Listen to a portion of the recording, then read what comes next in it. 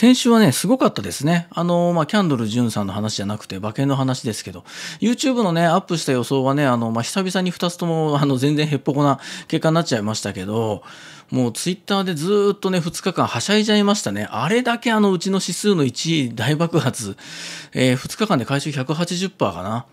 もう人気薄バチコンバチコン来ますしね、勝っちゃいますしね、2桁人気から中和なところまでもうバンバン勝つし、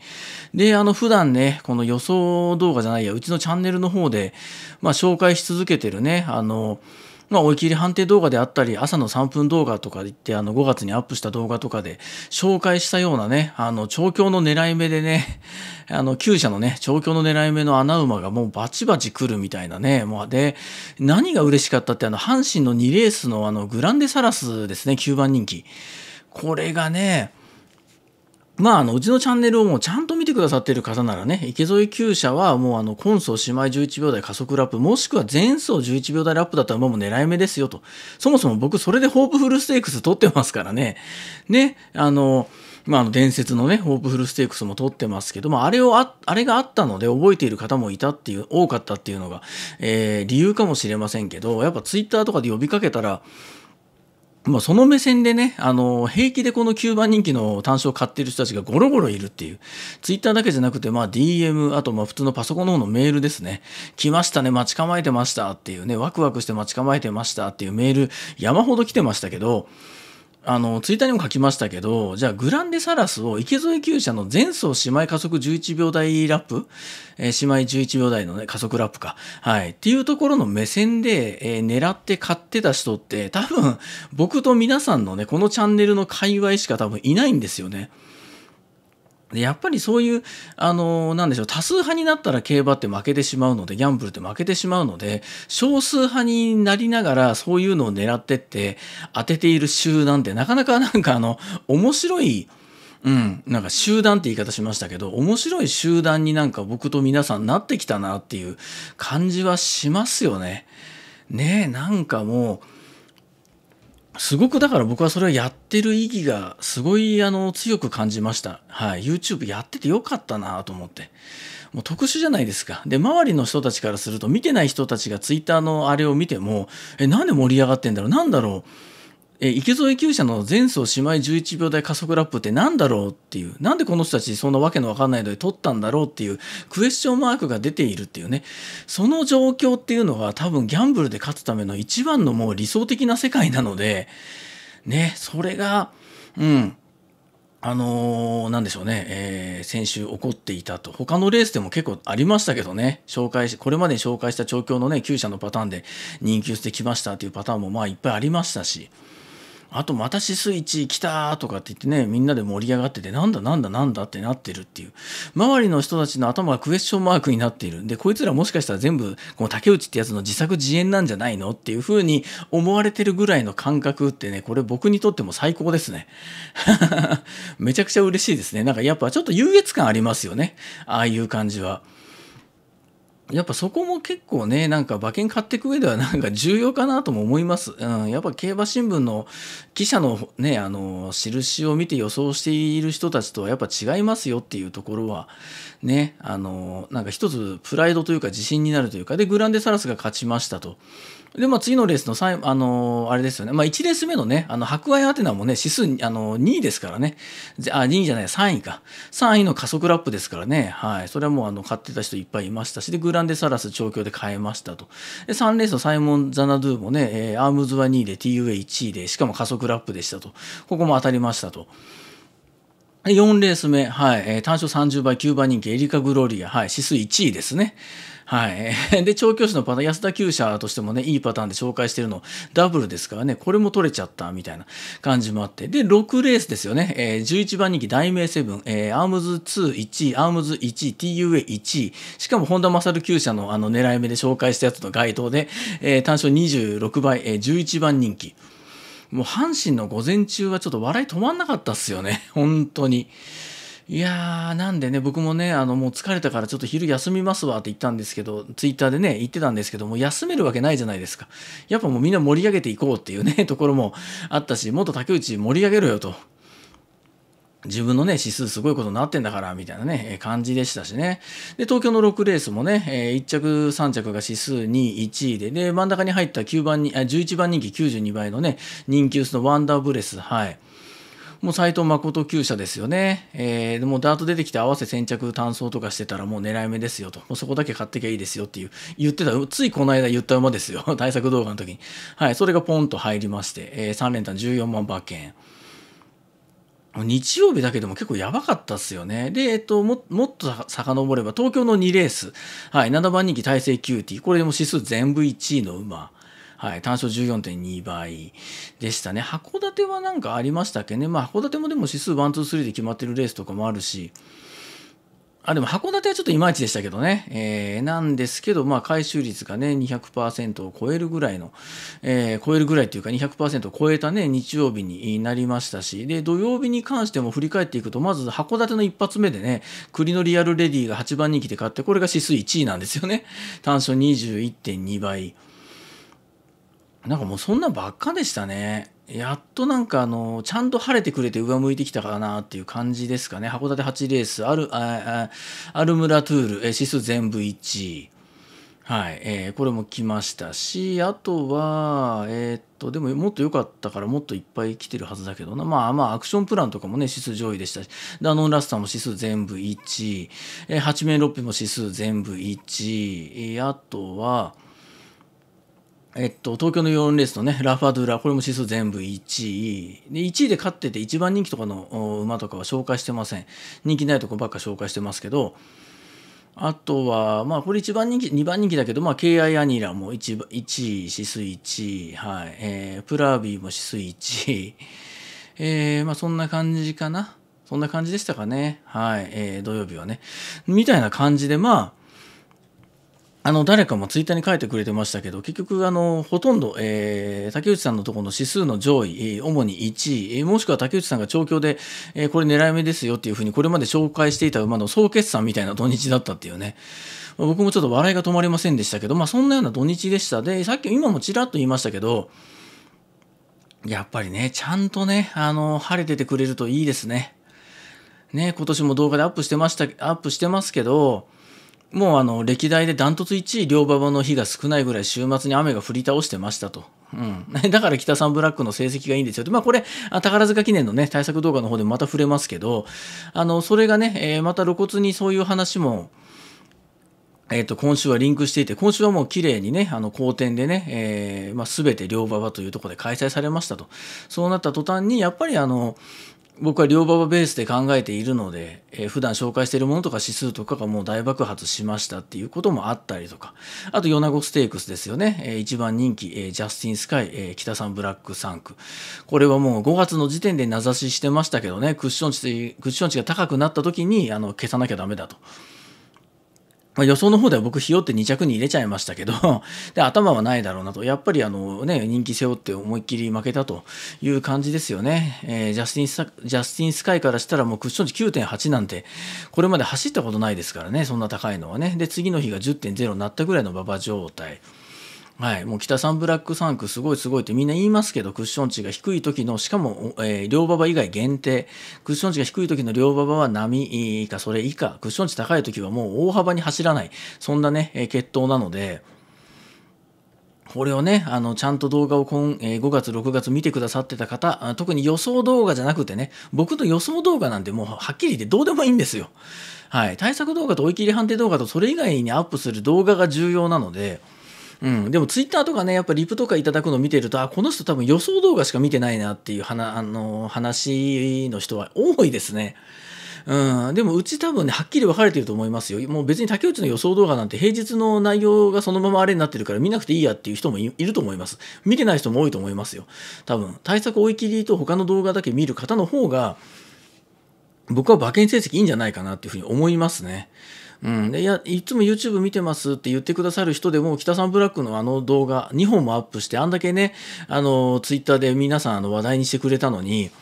見てないですからね、うん、なんでやっぱね週末の動画とか見てあの予想動画よりもしかもこの雑談動画の方が割と重要だったりします。僕の中の優先順位で言ったら予想動画って多分相当低いですよ。うん。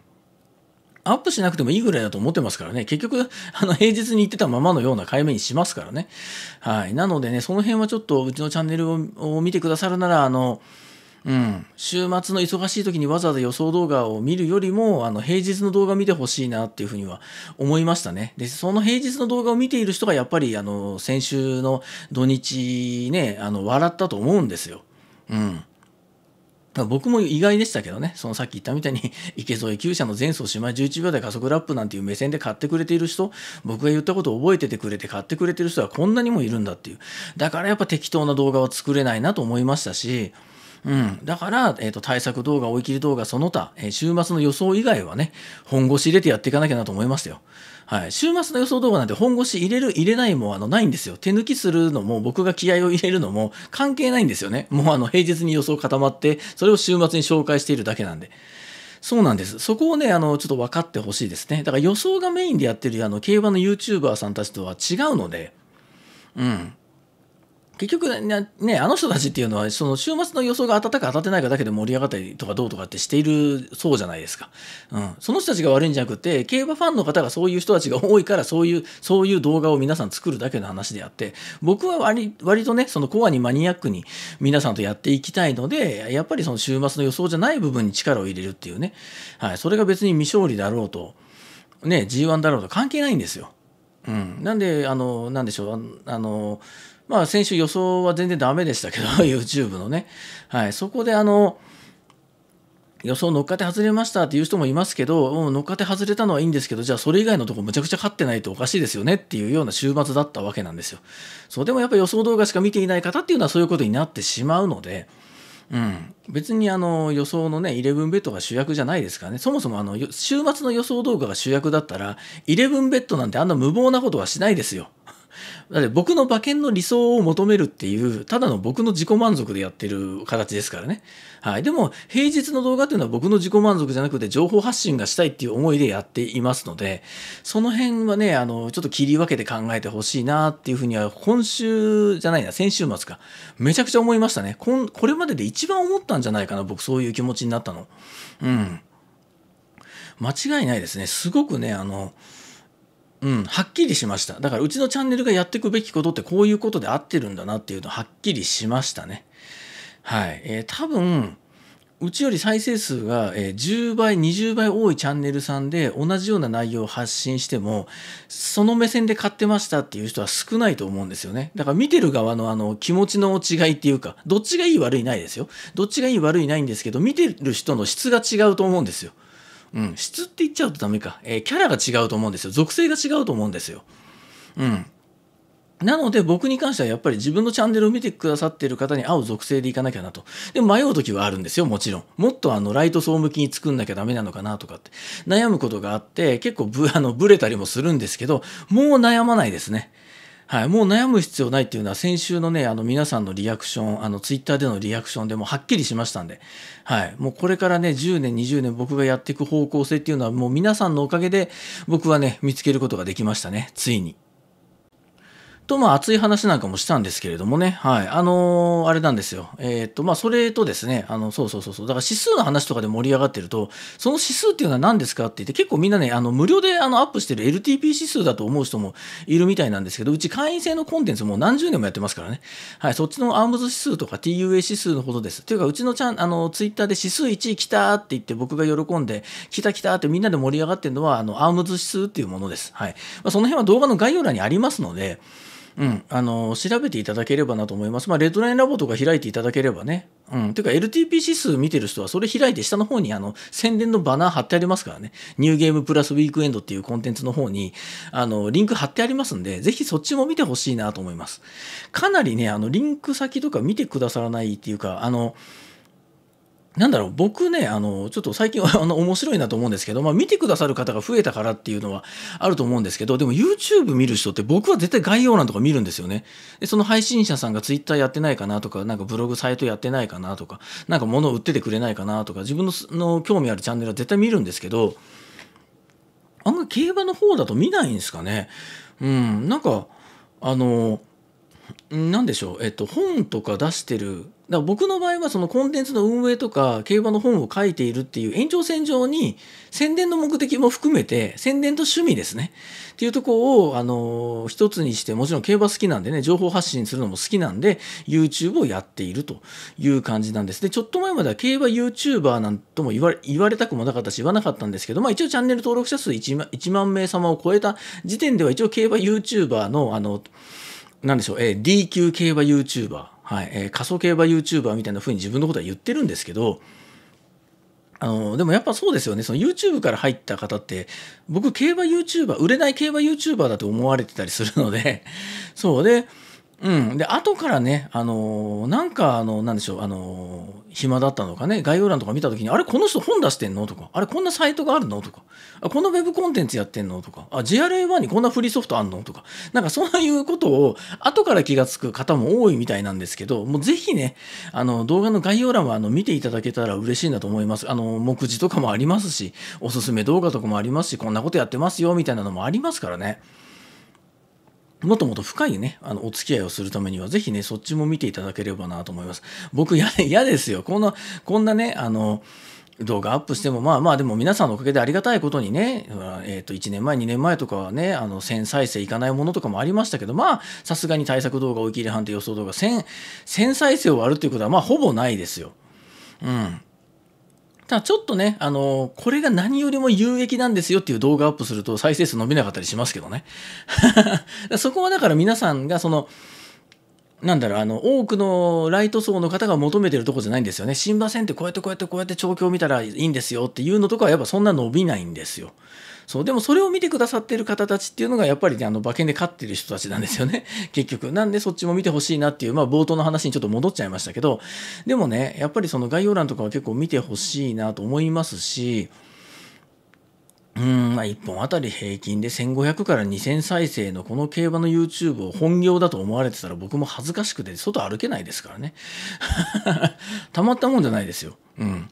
本業はだからそのコンテンツの運営とかライティングとかね、本書いたりとか、ライティングで文章を書く方ですよ。ライト当てる方じゃないですよ。はい、あの、本出したりとか、はい、そっちが本業ですね。本業なのかな？まあ、ホームページ作ったりもしますしね。競馬と関係ない動画作ったりもしますしね。コンサルティングにも入りますしね。はい、あのー、まあ、なんでしょう。えっ、ー、と、この企業のこの商品を広めようとかそういうこともありますし。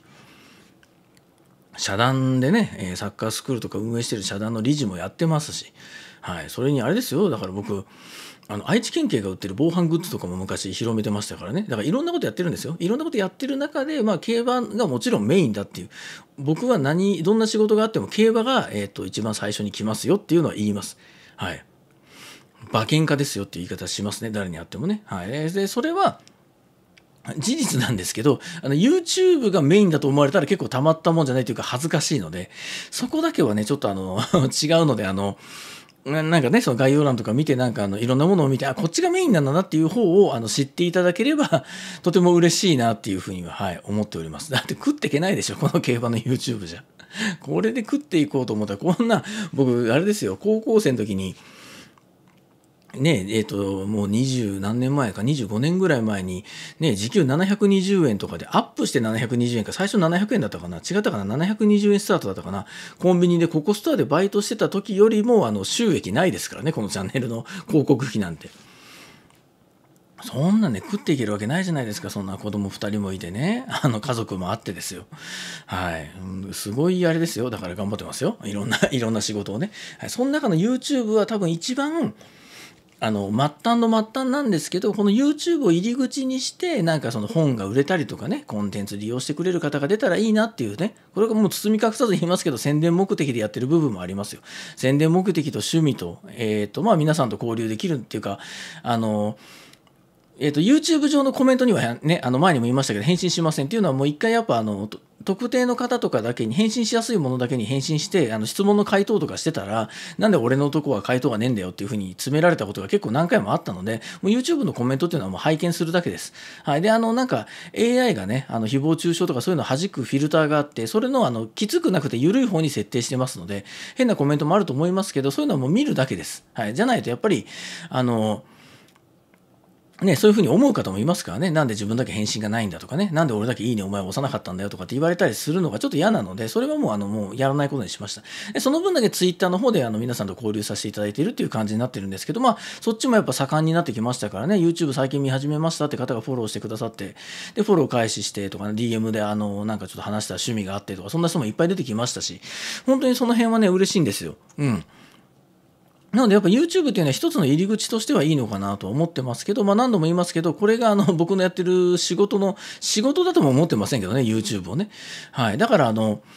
そう、仕事だと思ってないんで、あの、アップしなくても、僕が急遽1週間ぐらい何にも言わずにアップしなくても、あの、お休みですかみたいな風には聞かないでほしいんですよね。そう、休むとか休まないとかないから。っていう 部分なので、はい。これ気分的にやってるだけなんで、で、自分が好きでやってるだけなんで、で、自分が好きじゃない時とか忙しい時はやんなきゃいいと思ってますからね、別に。はい。仕事ではないので。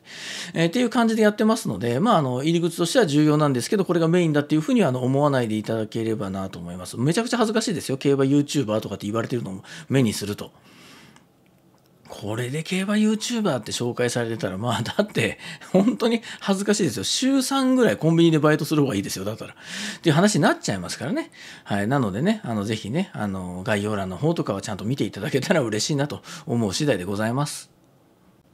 で、次にですね、あの、ちょっと三浦康生騎手の話なんかしたいなと思うんですけど、まあ、あの、ツイッターの方であの、三浦康生妄想物語っていうのを連日書いたんですけどね。はい。でもね、あれ土曜日分書くのでも大変ですよ。30分以上書きますよ。かかりますよ、あんなの。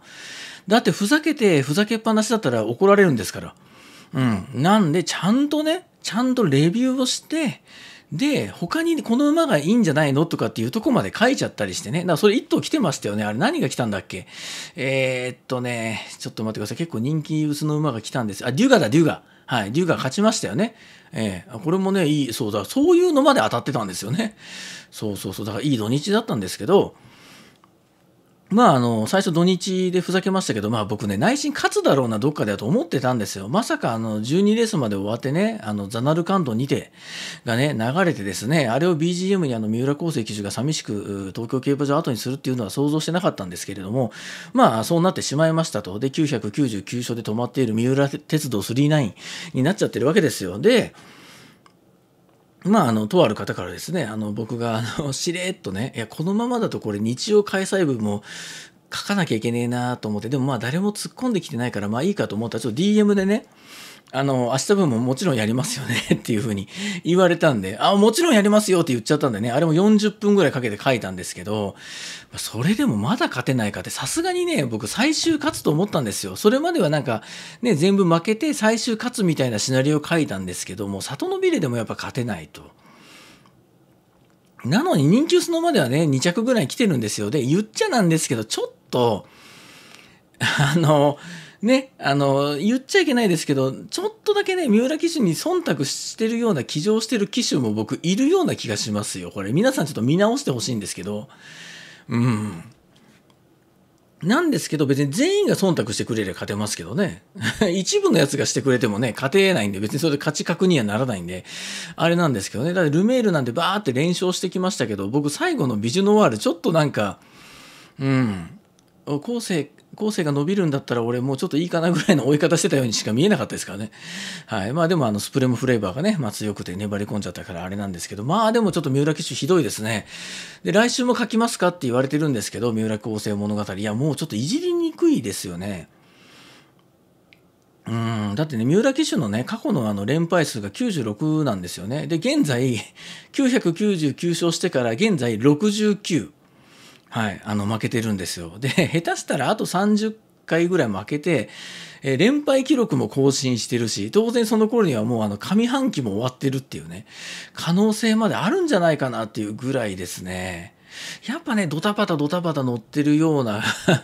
感じはね、いや、僕はそれもちろん馬なんか乗ったことないんでね、馬になんかって言い方変ですけど、あの、馬に乗れるようなね、そんな才能ないので、環境もなかったので、全然あれなんですけど、やっぱ三浦騎手ちょっと焦ってますよね。で、何が何でも人気、人気薄でも何が何でも行くと。何が何でも結果残してやろうという気持ちが人気薄ではいい方に出て2着とかに来るんですよ。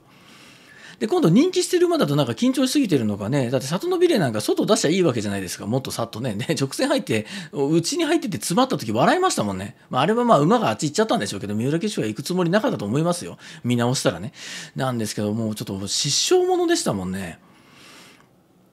いやいや、だからもう5月、だからこれでも5週ですよ。戦勝リーチしてから。これね、家で星野亜紀さんもね、絶対ケーキにね、1000っていうあのキャンドルをね、可愛くつけてですよ。待ってると思うんですよ、毎週。で、グリーンチャンネル見て最終里のビレが詰まった瞬間にそのケーキをですね、窓から外にぶん投げてるでしょうね。いい加減にしてほしいのって言いながら多分投げてると思うんですよ。僕が奥さんならやるもんな。もうええ加減にせえよって、ええ加減に1000回っていうね。はい、そんな感じになると思うんですけど、ただまあこれ笑ってますけど、あの、めちゃくちゃやっぱジョッキーって厳しい世界なんで人気馬だけ乗ってりゃ勝てるわけじゃないっていうのはもう間違いないので、これが三浦騎手が今ここで1000勝目いけないと。しかもこの5週間、馬のラインナップいいですからね。うん。これ、戦勝、戦勝しない関係なく、この馬のラインナップで0勝って、普通にあの、競馬場であの、罵声浴びるぐらいのレベルですからね。うん、でもやっぱそれぐらい競馬っていうのは難しいもんなんだな、もんなんだなっていうのをね、教えてくれている。はい。それがね、今のね、三浦騎手が、もしかしたら僕たち競馬ファンに伝えたいことなんじゃないかなっていうのは思いますね。えー、この土日であのラインナップで12頭いて、でもね、2着2回、3着3回って結構いいんですよね。勝てないだけでね。うん。それよりもですね、まあまあまあまあ、というか、あの、まあ、三浦騎手のことはまあいいですよ。もう来週勝ってくれて、もう気持ちよくね、もうあの、上半期で選手をしてください。はい、僕はもうあんまり、もういじりたくもないです。いじっちゃったんでね、あの、あれ竹内いじんないのかよって言われるのが嫌でいじってますけど、まあ、そもそも僕は三浦騎手好きですからね。はい、好きですし、うん。まあ、家に帰ってあの奥さんがいるっていうのはね、まあ、ちょっとあの嫉妬の対象にはね、なっているかもしれませんけどね、男性ファンからは。なんですけれども、まあ、あの、三浦騎手は本当に辛い、ね、あのもう無理やり持ち上げられてですよ。ね、あの実力がまだ伴わない、伴わない若いうちに無理やりプッシュされてですよ。ね、祭り上げられて、で、まあ、大量落馬事件とか起こしたり、あと、星野亜紀さんとの恋愛騒動で、あの、ね、恩師とね、調教師河野先生とね、え、大喧嘩になってしまったりとか、決裂があったりとか、まあ、結構ね、で、大怪我もあったりと、まあ本当に大変なことをさせられてますよ。うん。で、ああ、こいつはそんなにあれだなと、滝豊の後継者みたいにして、あの、競馬村全体でプッシュしたけど、なんかそういう感じでもないんだなっていうね、やっぱまあ外人騎手もいるし、呼べばいいし、みたいなことで、ちょっとなんかポイ捨てにされたような感じしますよ、僕、競馬の村の中でね。三浦騎手一時期。うん。なんかね、あの、使い捨て、なんかプロレスとかでもありますよね。若いうちからなんかもうプッシュされて、プッシュされて、でも全然結果伴わないみたいな、試合内容良くならないみたいな。なんかそういう感じにさせられたすごい辛い時期もあったと思うので、僕はね、三浦騎手っていうのは、あの、いじくり倒してますけど、本当にまあこれから競馬界背負ってくれる騎手だとも思いますしね、すごく応援はしているんですね。はい。で、まあそんな三浦騎手よりもですね、もう断然にひどいのがですね、あの、横山武史さんです。はい。これはね、もう三浦さんが今ね、戦勝リーチでずっと勝てないというところで、ちょっとあの、なんでしょう、あの、目が、ね、競馬ファンの目が、あの、逸れてていいなと思いますよ。うん、この2日間で、まあ、人気イコール実力じゃないにしても、でもまあ、一番人気の馬がそのね、えー、例えば16といる中で16番目の人気ってことはないわけで、ね、しかもあの、競馬ファンというのは、まあ、競馬新聞が人気は作ってるところありますけど、本当にまあブレない数字っていうものがもう何十年もある。人気っていうのはもう一つの指標にはなるわけですよ。で、えー、この土日ですね、一番人気4頭、結納男山リコッチゴールドシーズン、えー、ホロニックパスで、えー、順にですね、横山武史騎手、えー、9着、8着、5着、13着と、馬券内0。はい。えー、で、2番人気のパルフュメ、えー、ラブオントップ、ヒューゴ、ブライアンセンス。あ、まあ、ブライアンセンスね、本命してましたけど、もうちょっとね、まあ頑張ってはくれましたけど、まあ嫌な予感はしてましたよね。今の横山武史騎手、これで勝つ感じにはならんかなと思いました。あなんか、なんか、うん、調子悪そうに乗ってますからね。で、パルフィメ9着、ラブオントップ4着、ヒューゴ4着、ブライアンセンス3着。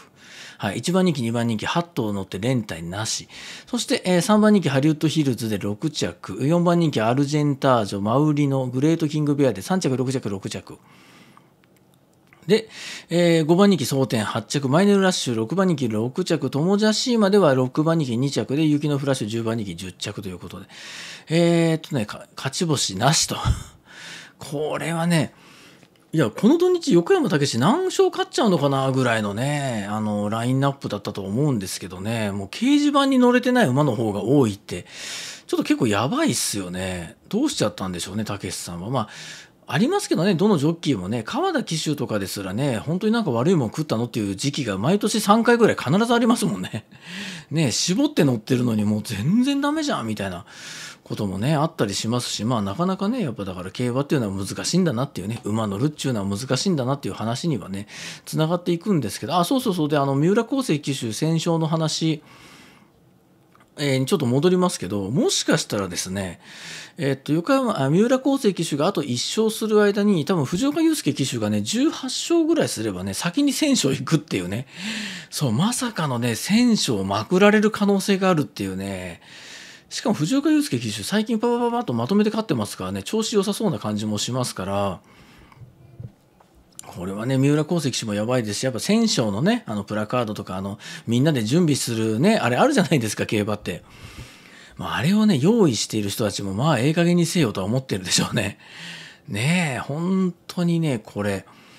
他にもねやっぱリーチかかってるようなあのなんでしょう、えー、ジョッキーたちって結構いるわけですよまあルメールじゃないやえっ、とあれ川田騎手って1900勝しましたっけ？先週してないかなまだねえー、柴山騎手599松田大作騎手も500勝まで近い鮫島騎手400勝したのかなこれ先週までのデータ見てるんであれなんですけど本当ね、他のジョッキーにね、あのー、話題性を持ってかれちゃいますけど、やっぱ1000って記録いいじゃないですか。気持ちもいいですからね。なのでね、ちょっと三浦騎手にはね、さっさと戦勝してほしいですし、うん、ちょっとね、あの、まあ、僕の勝手な意見ですけど、怪しい競馬をなんか、なんか何やってんのっていう競馬をして、競馬をすることが少なくないね、秋山騎手の1050勝あたりはさささっと抜かしてってほしいんですけどね、今年の年内ぐらいに。うん。まあ、秋山騎手に儲けさせてもらったことも多々ありますけどね、いやいやいや、もうだってもうその、そっからの競馬だったらもう、やる気ない、勝つ気ないじゃんっていうね、やっぱそういうことがね、多発するジョッキーっていうのは僕はどうしても好きになれないんでね。はい、しかし1000勝ねって見るとやっぱ武豊騎手の4400勝ってやばいっすよね。のりさんもまあこのまま順当に何年かやってくだされば3000勝いきますしね。すげえことなんだなと思いますまあ川田騎手があと何年やってもやっぱ豊さんの記録越すの多分無理ですよね。豊さんがまだ現役ですもんね。今いなけりゃね。で、こっから川田優雅騎手が20年間同じペースでやっていけばいいんでしょうけど、まあそんなことも無理だもんな。やっぱ滝豊っていうのはすごいなっていうところはね、こういう記録っていう話になるとね、感じてしまいますね。そう、あとね、まあ、競馬の話からそれますけど、僕、あんまりまあ政治的なことはちょっとツイッターに書くのは、あれかなと思うんですけど、そういう話自体は大好きなんですが、うーん、まあちょっとツイッターにも書いてしまいましたけどね、ぼかしながらね。でも僕は、えー、反対です。はい。可決されましたけど、反対ですよ。うん。で、僕はですね、これなぜそういうことが言えるかっていうと、やっぱ身の回りにいるんですよ。うん。思い出す、頭の中に今パッと言いかけるだけでも5、6人ぐらいいますし、はい。えー、っと、まあ、一人はあの女の子でね、妹みたいな子なんですけど、女の子が好きな女の子で。で、まあ、その子たちの出会いのためにですね、大体なんかね、あのそっち方面の方の出会いって割となんかあの、クラブとかでね、音がガンガン鳴ってる中でちょっとみだらな、なんか不死だらなね、なんかそういう出会いが多いという相談を受けたので、もう健全な出会いの場を作りましょうということで、まあそういうイベントをね、実は僕も実行委員会として10回ぐらい開催したことがあるんですよ。女の子の、女の子同士の出会いの場ですね。であったりとか、あと、まあ、あの、自分の好きなね、あの、昔からずっと通ってる、あの、尊敬するママがいる、あの、ゲーバー、とかもありますし、まあ、他にも何人もいるんですけどやっぱりでもねあのどういう方にこういうこの手のあの話をしてもですねやっぱり自分たちが望んでいることとは全然違うなっていうその差別されてるっていうふうに思ってる方がまずほとんどいらっしゃらないかな。あのあえて国会議員の人たちがねこういう例がありましたっていう紹介してるような話は聞いたことないって言いますもんね。どこのそのピンポイントで起こった話なのっていう、それってもしかしたらその、その性のねその何でしょう自分の性の辞任とかそういうものが関係ないんじゃないのっていうそもそも、うん、その人個人の問題で起こってたり周りの環境で起こってんじゃないのっていう話ですよやっぱり皆さんが言うのは。うん、別にトイレなんで分けてほしいと思ってないって言いますしむしろ嫌だと。で、結局やっぱりあの近づいてくるそういう市民運動をする人とか、ね、あの政治家とかっていうのはやっぱり利用しようとしている感じがすごいっていうね、うん、当事者の話なんかほとんど言っても全然違うように解釈して、えー、持ってってしまう人たちのが多いっていう話もよく聞きます。で、僕もそうだと思いますよ。やっぱあの政治ずっと見てりゃ分かりますけど、結局なんでしょうね。まあ、あの、アメリカに言われてやってることもや、やってる部分もありますけどね、あとはもう公金チューチュー吸うためだけになんかそういうのを立ち上げていくっていう感じですからね、今の日本は。うん、でもまあ、だから僕は反対です。反対な、反対ですけど、ここまでしてやんなきゃいけなかったということが怖いですね。えー、そんなにやっぱ圧力強いんだ、日本に対してのっていうとこですかね。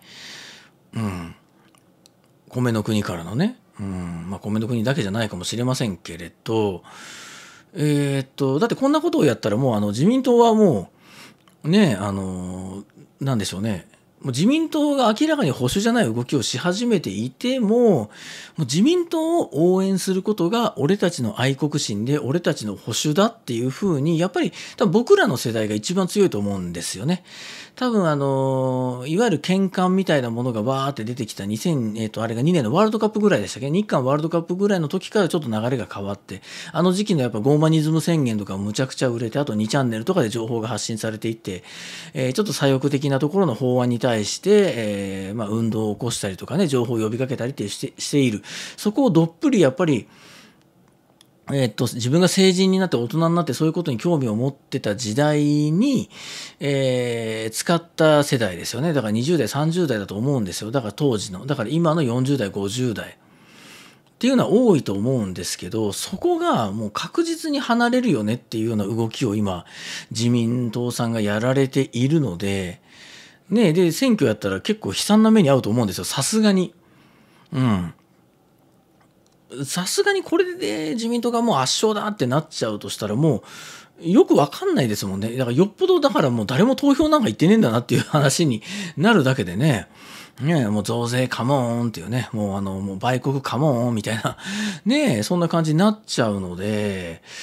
えー、でもやっぱり負けると踏んだから解散しなかったっていうところはあると思うんですけど、でも一番その硬い、もうあの洗脳されてるというか、もう信者化している、えー、そう。だから僕らもそうです。だから僕もね、あのやっぱり10年ぐらい前までは、結局やっぱ自民党に不満があっても自民党に入れてましたもんね。うん。でももう今はとてもじゃないけどっていう。ここに入れるってことは日本を裏切るってことだよなっていう。ただ他に入れる先があんまりないっていうのがね、今の日本の問題点でね、結局左翼をなのか売国を選ぶのかみたいな、うん、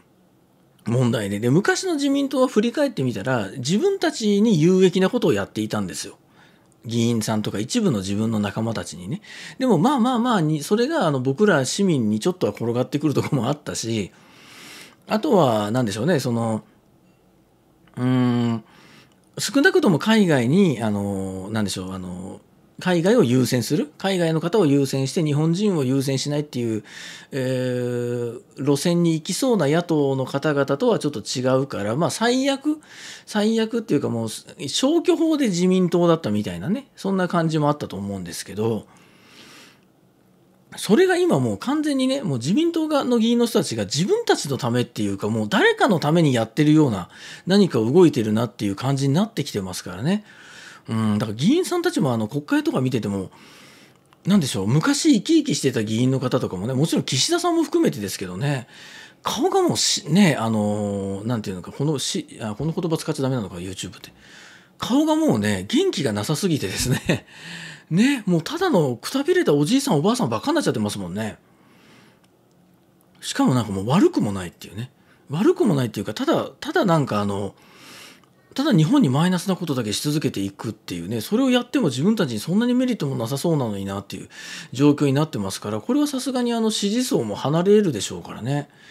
うん、YouTube とか Twitter とかのやっぱ保守系のアカウントとかでも自民党以外のことをボロカス言ってた人たちが変わりましたからね。この数ヶ月でね。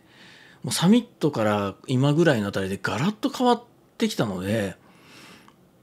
これはだからやっぱりあの自民党の人たちからしても想定外だったと思いますよ。やっぱり凄まじく日本あの国民をなめてると思いますから、何やったって別に従うんだろうと思ってると思うんですよ。まあ他の議員さんたちもそうだと思いますよ。だとは思うんですけど、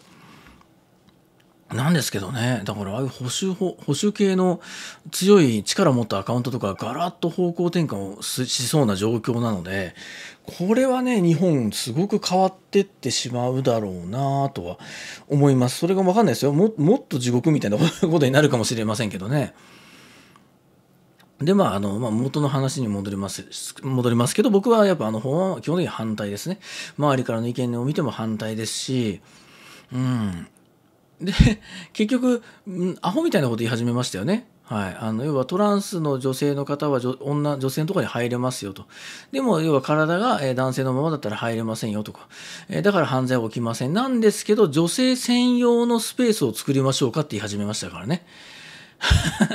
元戻ってっとるやんっていう。何を言ってんのこの大人たちはっていうね。もう本当にね、中学生ぐらいの子たちからもバカにされますよ。今の政治家の人たち。何言ってんの何言ってるか分かってる自分たちがっていう状況ですからね。うん、僕は恐ろしいなと思いました。じゃあ男性専用のスペース、女性専用のスペースを作ろう。いや、だからそういうことじゃないから今回こうしたんじゃないのっていう。うん、結局そこ何？だからそこは差別になっちゃわないの？ってそれを区別って言われるのであればこれまでも日本人があのそういう方たちにしてたことの多くは差別じゃなくて区別ですよ。うん、よかしかも良かれと思って区別してきましたからね。うん、でそこにねわざわざ法案だなんだっつのぶち込んできてそうしたら今度また区別して区分けしましょうって言って何を言ってんだこいつらはって。うんいや、もう本当にね、あの、おかしいで、それをね、もうみんながみんな賛成してね、やってるっていうのは相当これ今大きな力が日本に働いてるんだなっていうことはね、あの、もう競馬とは何も関係ありませんけど、でも競馬にもね、こういう話が来てしまうかもしれませんよ、もしかしたら。うん、じゃあどうします？元、元男性のジョッキーですと。はい。で、えっと、性自認は女性ですと。で、体はもうあの女性の方に合わせてますと。はい。他のスポーツではありますよね。陸上競技、バイク競技、え格闘技もそうです。元男性の方がこれまでの女性の記録を何分とか更新しちゃうんですよ。何秒単位じゃないですよ。よく陸上とかであるね。その1秒、0.1秒の世界じゃないですよ。何分とか更新しちゃうんですよ。で海外では元女性、元男性だった、えー、女性の格闘家と女性の格闘家、もともと女性の格闘家が、えー、なんでしょう、えー、格闘技で戦った時に、あの、女性の方、ぐちゃぐちゃにされましたからね。それはそうですよね。うん。それはそうだと思いますもん。じゃあ、競馬界だってどうですか？これもしね、じゃあ本当もう極端な話ですよ。もう分かりやすくすると、じゃあ川田騎手が実はあの、えっ、ー、と、女性でしたと、心は。はい。で、体も改造しましたと。えー、女性ジョッキーなんでハンデつけてくれって言った時に、これ拒否ったら差別になりますからね。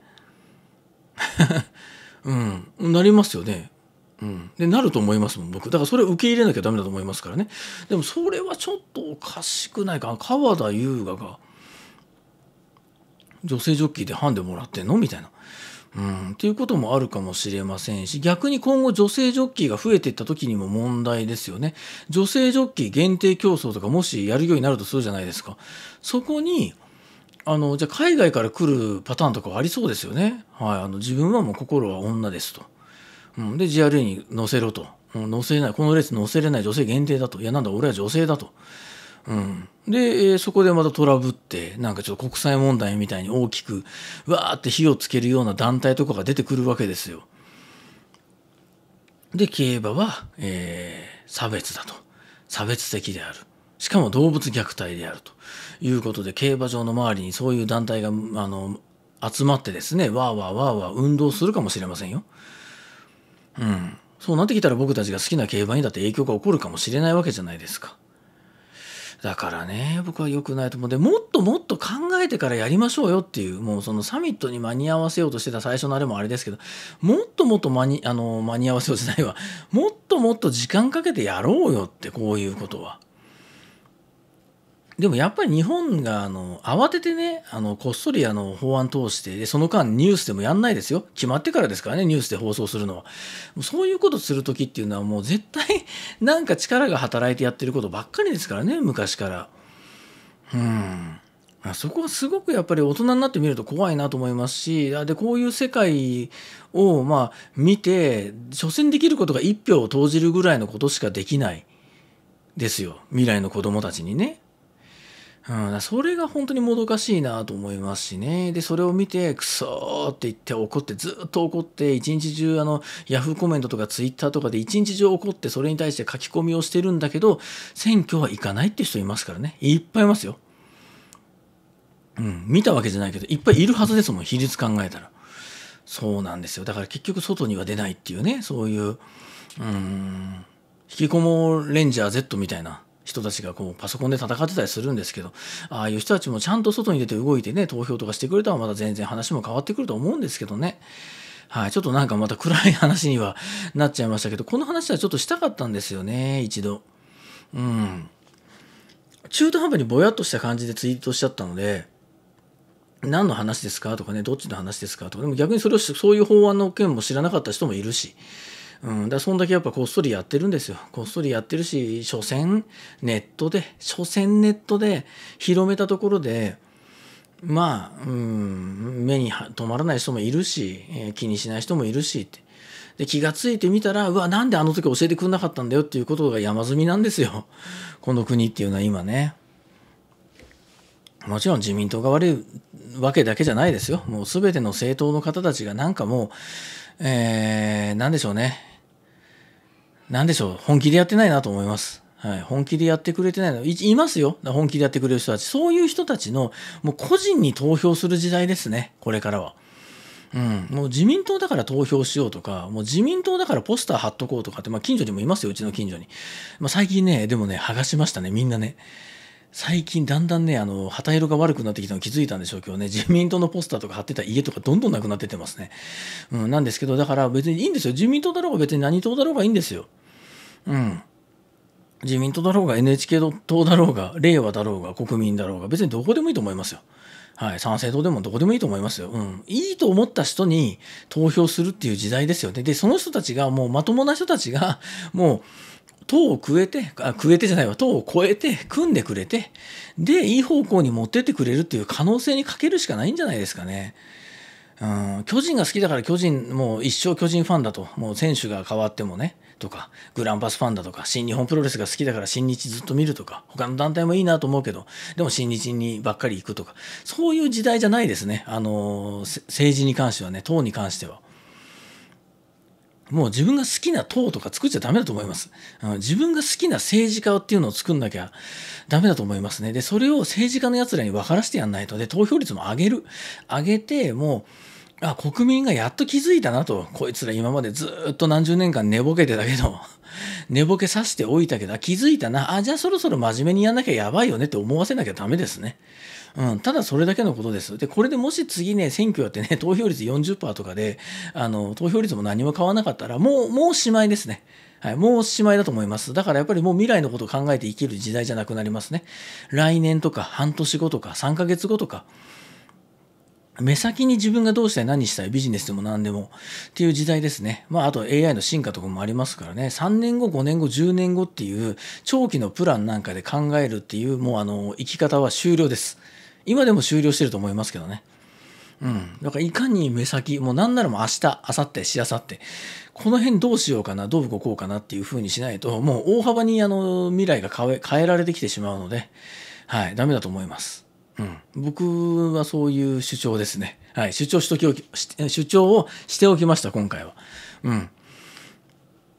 で僕もそういうつもりで生きてますからね。はい、ただ、その選挙とか投票の時に誰に投票するのとか、そういうのは聞かないでくださいね。答えません。はい、そういうのは答えるのは良くないと思います。うん。自分で探してください。自分がいいなって思う人を自分で探してください。はい。いっぱい今なんてね政治家も YouTube もやってるし Twitter もやってるしあこの人まともだなっていう人をやっぱ探しておくことじゃないですか。うん、それぐらいしかできませんよ。でもそれぐらいしかできませんけど、それが全てになる可能性ありますからね。はい。まあそんな感じですね。長々とすいませんね。で、えー、まあそんな感じでお届けしたんですけど、あの対策動画ね、宝塚記念アップしますけども、僕ね、もう基本的にはあの JRA がインチキババで、あのー、例えば週末ちょっと曇りなんですよ。曇りでちょっと雨降るかも、みたいな。若干ね、降水確率が高かったりするんですけど、